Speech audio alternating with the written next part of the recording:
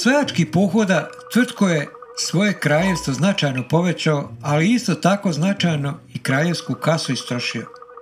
Vojska mu je bila oslabljena i bez mačeva i oklopa.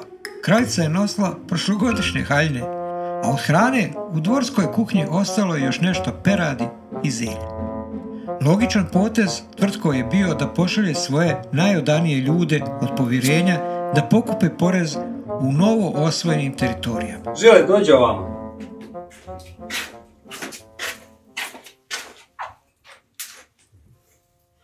Žele, odlučio sam da na put kreneš sa svojim ujakom i da prikupljate porez.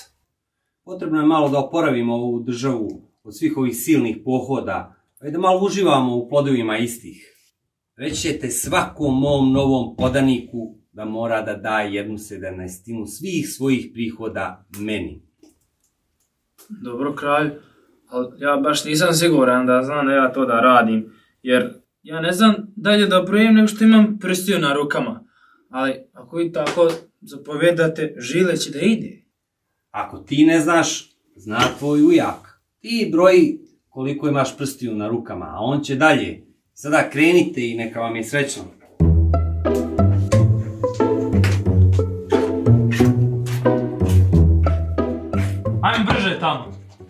Tu kokoš. Pa bježi, makni mi to, pa, pa dosta mi je više tih perja i toga sa istoka, one što me je uništilo. Ali, Bježi, ali, ovo je naša žičarka. Sljedeći. Šta, šta je to? Šta je to? Krzna, krzna. Malo je to srećo, ali možeš ići. Ajde, ajde, ajde ti. Sljedeći. Pa šta se to donio?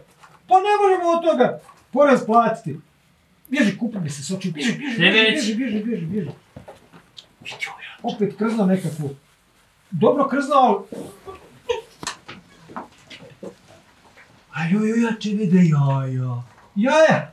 Pa vidi, vidi koliko jaja imamo. Još samo još tu i to fali jaja. Maki se, maki se, maki se s očiju, maki se. Ujače. I do ovoga. Kukuruz prožut. Jeste žut kod ukat. Ali, nije ovo dovoljno. Imaš li još nešto? Molim vas. Ma imaš li, bacit ću te u okove ako Molim nemaš još nemoj. nešto. Molim. A, bar još nešto. Ne može ovo, malo je ovo.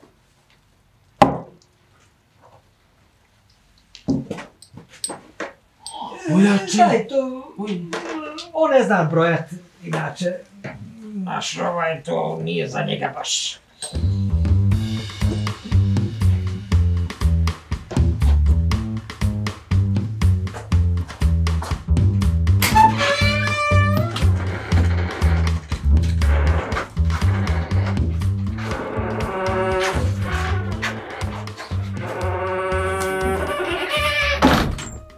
Pa žile moj dragi, ti se brzo vrati. Pa sad ću uvijek da te šaljem da prikupljaš poreze, da vidim s čime ćeš prvo da me obraduješ. Gospodaru, vaši porezi.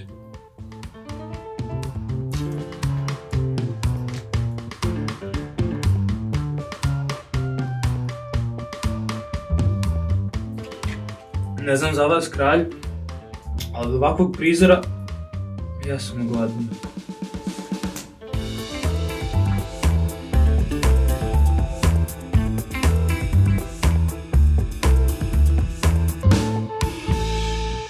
Porez je od uvijek važan bio, nekad se zbog njega gubila glava, a sad se gube sva ljudska prava.